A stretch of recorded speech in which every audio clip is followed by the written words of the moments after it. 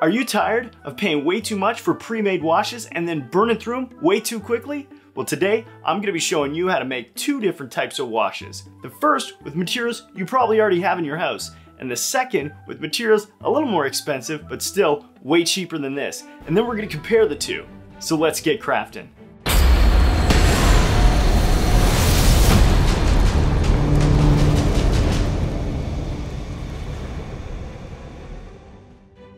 So I'm going to start off with this tutorial with a mini tutorial on how to build ruined wall terrain. Because we need something to test our washes against, I figured this is a good time we throw in a little build here. So we're going to start off with some styrofoam bricks and we're going to uh, base it on some cereal cardboard. So I just broke down a, a cereal box and we're just going to cut it into two smaller shapes here. And I'm going to start to cut an L shape kind of organically uh, to start basing our terrain on this because I'd like uh, the ruined wall to be right at the corner. So that's why we're doing the L. But you feel free to, uh, you know, make your wall terrain however you would like to. So I'm just going to make two, and I'm going to make them similar so we get a good comparison with our washes. So we're going to just start laying on bricks directly onto the base, uh, really quick and easy. And now these bricks, if you're curious about how I made them, I have a whole YouTube tutorial on how to mass produce these bricks um, for all of your uh, stonework builds. So here we're just laying them on and every once in a while we're gonna start like ripping a brick or two apart so that we can get that kind of ruined wall look. And uh, it goes pretty quick. You can just stack them up however you like to. You can do a full ruin like this um, so we're just going to do a fun time lapse.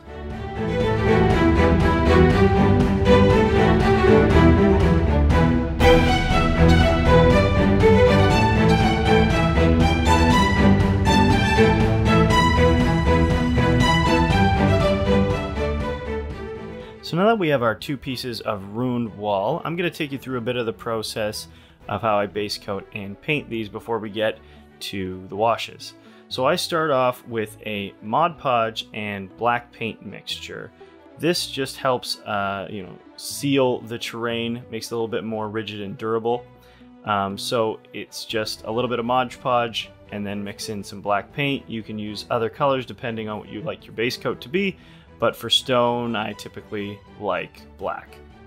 So we're going to mix it together and then we're just going to start coating the entire piece in this. And you can be pretty liberal with the black paint, but you just want to make sure that you don't go too thick that you lose the detail.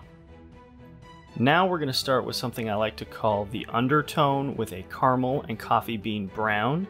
Now, if you'd like to know more about how I paint stonework, you can check out my last YouTube tutorial is all about how to get some really great depth out of your stonework. Um, I share tips, techniques, and processes on that, so check that out. So here, our painting is finished. So let's talk about washes. So you can buy pre-made washes like the Army Painter's Quick Shade or uh, ones like Citadel's Nuln, Nuln, Nuln Oil. Uh, but the thing with these is very high quality, but there's not a lot of them and they're very expensive.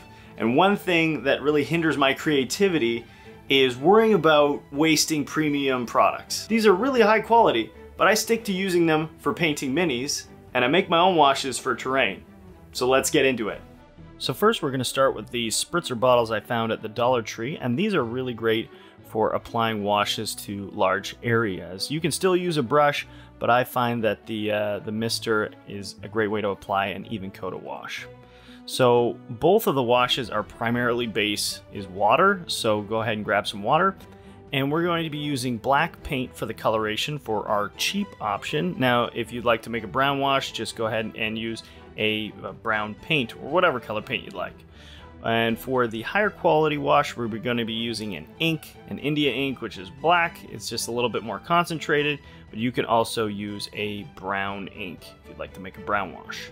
So then to help the wash uh, flow into the recesses, we're going to use for the cheap option just regular old Dawn dish soap, and that's going to help uh, the wash seep into the cracks. And then for the more expensive wash, we're going to be using Liquitex Flow Aid, and this product is specially designed to be mixed with paints, so you're not going to get the same kind of foaming we're going to get with the dish soap. So now we're going to start uh, mixing it together. We're just going to take the cap off and we're going to mix in uh, a, a, small amount of black paint. So I would say about kind of, um, you know, 8 to 10 drops of black paint. And now we're going to be adding the, in the dish soap. So we're going to get um, kind of, I did about two drops there and then it needs a little bit more. So you don't need much. So probably about four in total.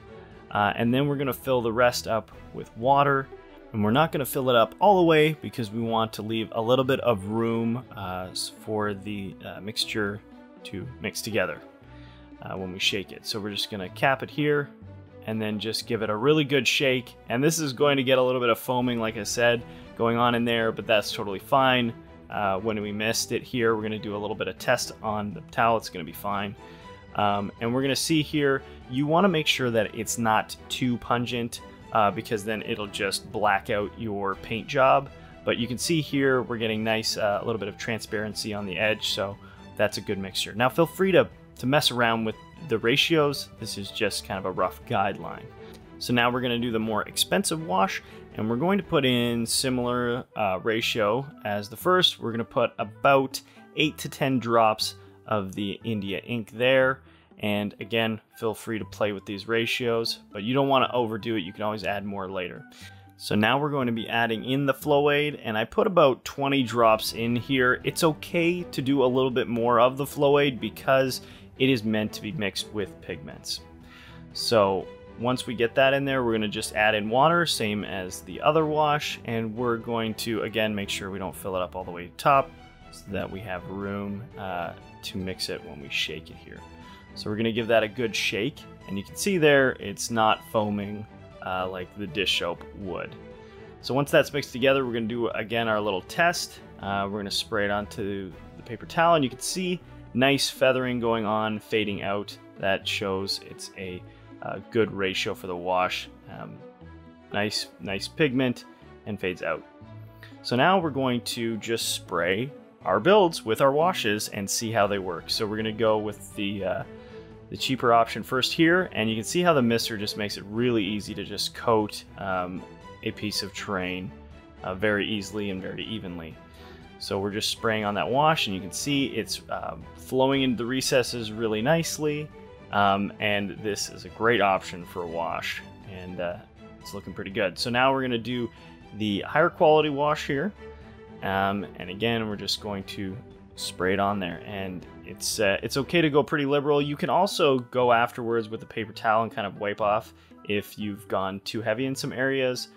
Can see uh, how the higher quality, the ink and the flow aid is just a little bit more concentrated and uh, really seeping into the details just a little bit better.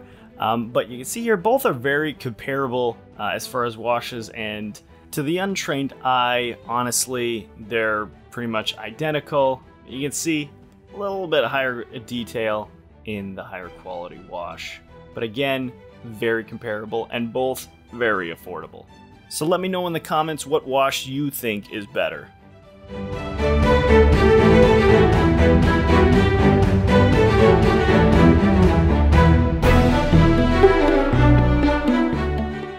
And there you have it guys, the results are pretty comparable and both are gonna be way cheaper than anything you're gonna be able to buy pre-made. So go ahead and mess around with inks and paints and ratios. I'd love to see what you guys come up with. If you found this video helpful, like, share, subscribe, hit the bell notification to join the Fantasy Forgers. Thanks so much for watching guys, and as always, keep on crafting.